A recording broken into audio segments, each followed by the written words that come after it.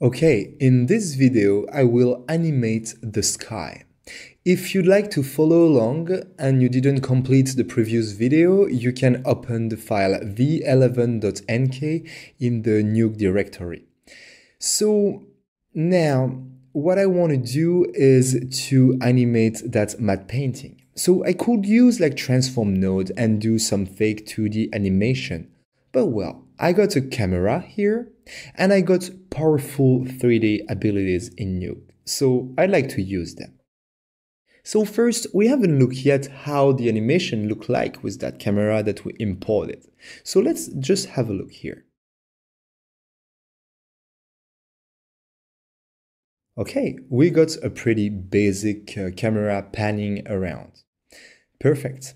And now if I were to look at it on the top of the sky, how it will look like? Well, it will look weird because the sky will be supposed to move as well as the camera is rotating. Great, okay. So how are we going to do that? Well, I will need to place my sky, on the 3D object.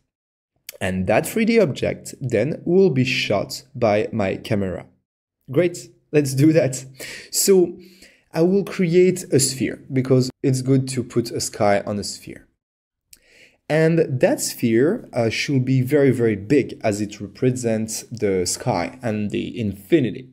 So let's switch to the 3D mode by hitting the tab key while the mouse is on the viewer and I will scale up that sphere like like like a lot, like uh, no more than that, like thousand thousand.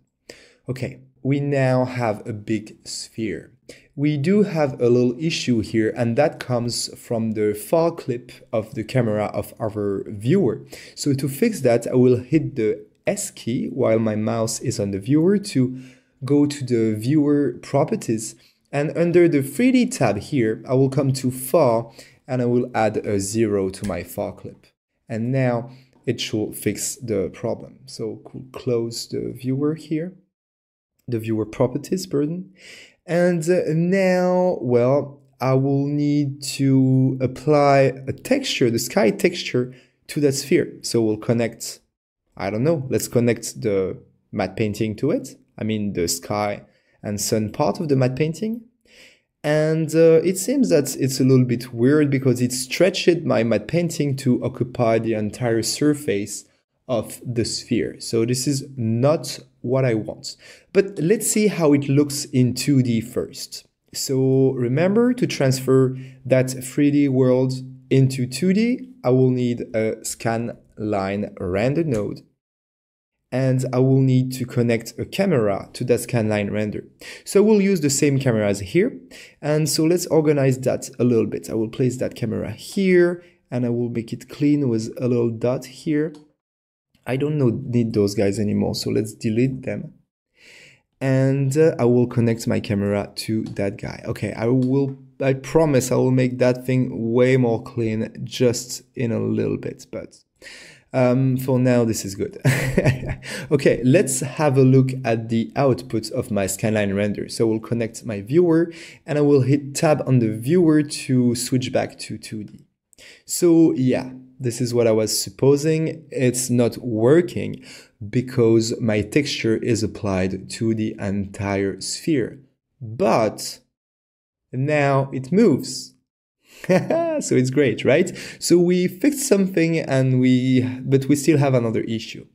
So what I want to do here is I want that my last frame, remember my last frame is my frame of reference. I want that sky to be exactly like that on my last frame. So instead of applying this matte painting as a texture for my sphere, I would like to project that image on the sphere. And that will be like that, that will texture my sphere by projecting an image, not by applying it to the sphere.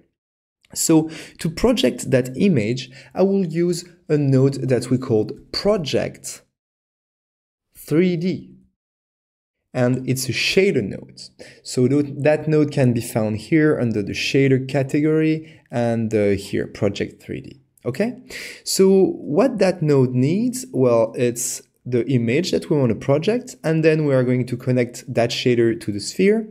And now we need to tell that project node from where we are projecting that texture. Basically, what is projecting the texture? And what is projecting the texture? Well, it's the camera as well. So there we go. I connected my project 3D to my sphere. And now if I look at my scanline render, I got the same thing as I have here. Great. Now let's see when I scrolling through my timeline, but it doesn't move. Oh my God, what is going on now? Okay, let's have a look to the 3D viewer. Now, I can see that here through my camera, I'm projecting that little image here. But when I'm moving through and my camera is moving, the projection is moving as well. Of course, because this is the element responsible of the projection. So if the element responsible of the projection is moving, well, the projection will move as well. And it will shoot the same thing. So yeah, we'll basically showing the matte painting, but if it moves with, if the projection moves with the camera, it won't work. So what we need to do? Well, we need to say that at the reference frame, the camera who is projecting the 3D won't move. And for that, I will use a node that we called frame hold. In the time category up there, frame hold. And I will hook that node here. And I will set the reference frames that we decided to remember the last frame. So we will say that we want to hold the frame 1100. And now if I scroll through my timeline, you can see that we don't see my camera moving here. Okay, we can see that, okay, we don't see it because of the frame hold, but now if I go to my scanline render output and I look in 2D, I can see that now my sky is properly placed on the last frame and it's moving as the camera is moving. Perfect. Okay, we got a last issue that we need to fix here. Why do we have a black band appearing here? Well, it's weird because remember we made sure to keep the overscan here, the bounding box, to keep those pixels information actually to avoid this issue. Well, it's very simple. It's just that we need to go to the project 3D node and we need to uncheck the crop here to keep the bounding box. And now our sky is animated and we don't have the bounding box issue. Great. Let's now uh, plug that guy here and see with the planet how it looks like.